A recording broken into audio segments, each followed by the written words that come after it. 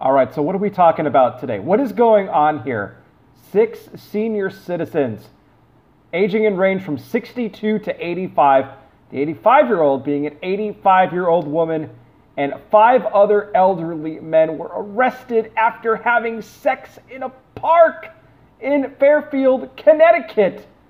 What in the world is going on? This was in the Grace Richardson Conservation Area. Apparently, this was an area that was publicized on the internet for people to go and have sex at this park. Now, police had set up surveillance. They had witnessed several violations. And oh gosh, I feel bad for the police officers that had to, you know, review this footage. I mean, are you can you imagine what they might have seen? I mean, you got five elderly men pretty much getting it on with an 85 year old woman in the park. I mean, what was wrong with these people? I mean, hey, guys, what in the world? I don't understand what's wrong with people today, guys. I, I just don't.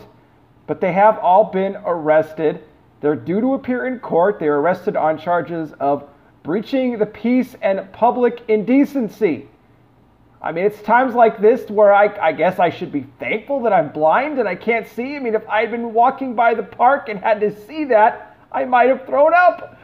But um, no, no, I at least I don't have to worry about that. But um, wow, guys, this is what's happening in our world right now. I mean, senior citizens getting it on in the park. If you're gonna get it on, get it on, you know, in your own house, in your own bedroom, not out in the park for all of everybody to see.